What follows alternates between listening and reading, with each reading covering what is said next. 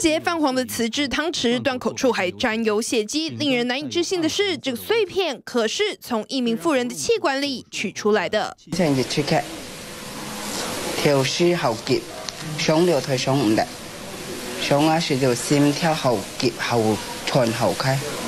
咳嗽的症状已经长达七个月，有时候还会咳出血丝，但不管吃了多少药，症状都不见好转。没想到一拍 X 光，竟然看见一只汤匙柄就这样插在气管里，连医生都吓了一大跳。同你，诶，通过 CT 同你检查，有异物，其实也是调羹病，就这磁性的调调羹病。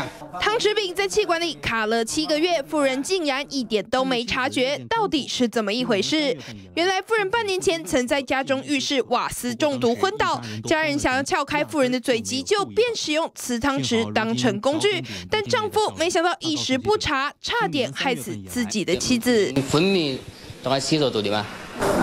车，是吧？车，嗯，一个出来穿两个。医师表示，撬开昏迷病患的嘴抢救是正确程序，只是使用易碎物很容易造成碎片堵住食道或是气管，选择不易断裂的金属制品会更加安全。记者唐泉综合报道。